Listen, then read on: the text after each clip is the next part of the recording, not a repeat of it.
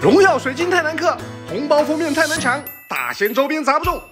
兄弟们，不拼欧气，拼仙气的时候到了！先有专属微信小程序“大仙六八八”，直接扫描屏幕中的小程序码，或者点开微信搜一搜，搜索张大仙，就可以找到我的专属小程序了。先玩法力攒仙气，先福利中换奖品，二十仙气转一转，幸运仙转盘中的 iPhone 十二、荣耀水晶以及多款周边，没准就是你的啦！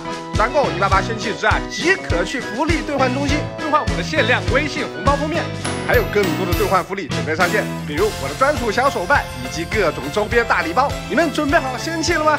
嗯，问我仙气怎么得？我只能告诉你啊，仙玩法里全写着：百万仙友云养猪、荣耀水晶换皮肤、王者攻略和吃瓜、粉丝福利带回家。荣耀发财快报，大仙什么都知道。是的，李白荣耀典藏啊，名剑夜影终于和我们见面了。这个皮肤啊，承载了我太多无法用言语表达的情绪。三年不见，一眼万年，他是有多少玩家心目中的白月光？十步杀一人，千里不留行，沉寂数千天。他手持夜影剑，向我们宣告王者归来。怎样的开场才配得上他？不如为他留下满屏的成名绝句。我先来，我和我的剑到此一游。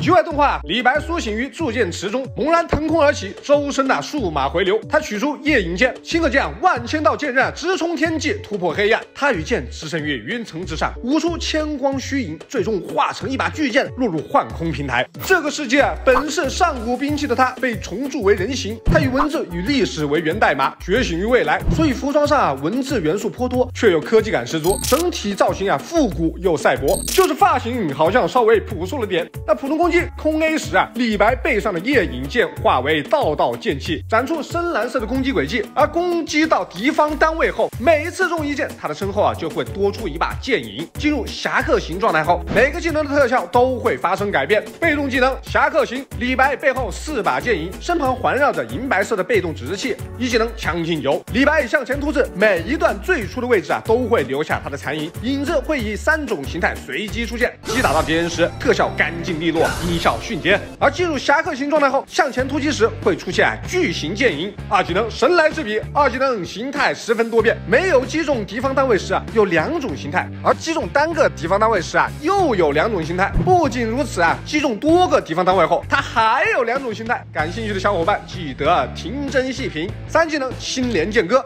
我一眼就能看出啊，这个大招的运行轨迹和其他的皮肤完全不一样。这五道剑影也太轻盈利落了吧！最后一道化为巨剑从天而降，给予老亚瑟迎头痛击。这就是氪金的力量吗？不知道用在手上是什么感觉呢？我真是等不了了呀！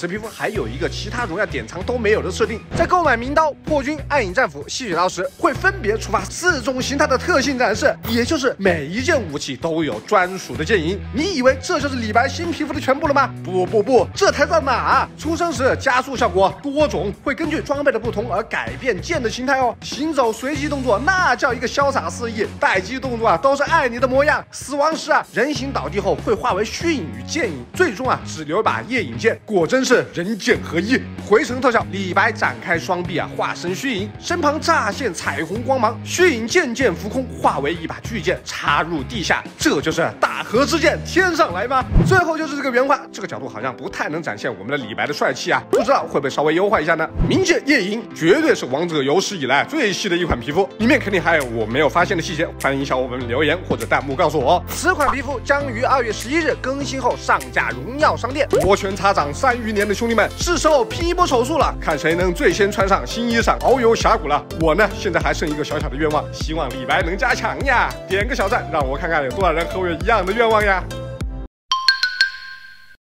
一个 ID 名为血墨阴空的线友提问啊，大仙大仙，我想问一下，像诸葛亮大招、兰陵王二技能那些有斩杀效果的技能啊，在被选中时，如果啊突然买了一件血量装，会不会伤害有影响？那测试画面我们看到，当狄仁杰身上挂着兰陵王标记时，疯狂买霸者重装，虽然血条明显多了两格，却依然被标记的二段伤害击杀。回看装备面板，敌人兰陵王也没有任何装备，仅凭基础伤害依然可以斩杀后买六霸者的狄仁杰。因此得出结论啊，虽然瞬间购买防装可以提高血量，但是不会影响剩余血量的百分比。如果购买装备之前处于斩杀线内，购买装备后依旧会被击杀。虎牙六八八，每晚七点半，咱们不见不散。